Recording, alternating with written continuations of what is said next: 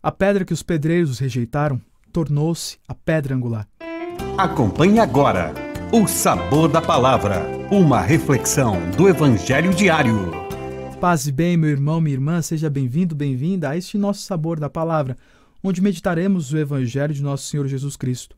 E hoje o próprio Senhor usa de parábolas, e ele usou isso várias vezes no decorrer da sua vida, porque ao falar sobre coisas cotidianas, ele percebeu uma oportunidade de falar do reino de Deus. Nós sabemos e somos sempre incentivados pelo Senhor a nos tornarmos mais sensíveis, a quebrarmos a nossa indiferença. Mas o que, que nos impede, de fato, de ter uma vida concreta ao analisarmos o outro e ao buscarmos uma atitude nossa que ajude o outro?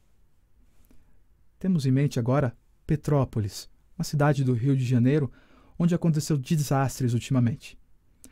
Não podemos ficar só com condolências. Também precisamos de ajudá-los. E como o evangelho de hoje pode fazer isso conosco?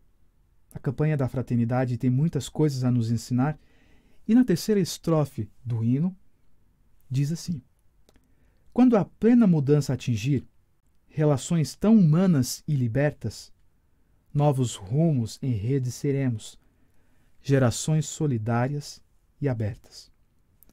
O tempo da quaresma é um tempo propício para a nossa conversão. Uma conversão que não é só mudar hábitos nossos internos, que talvez não faça diferença para o outro. A quaresma também nos chama a uma conversão social. Quando paramos para respeitarmos mais a natureza, respeitarmos mais o nosso semelhante, tudo isso é sinal do reino de Deus acontecendo.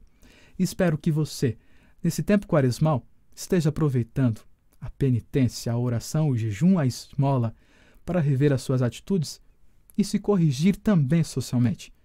Desejo você uma boa quaresma, paz e bem. Você acompanhou o Sabor da Palavra, uma reflexão do Evangelho diário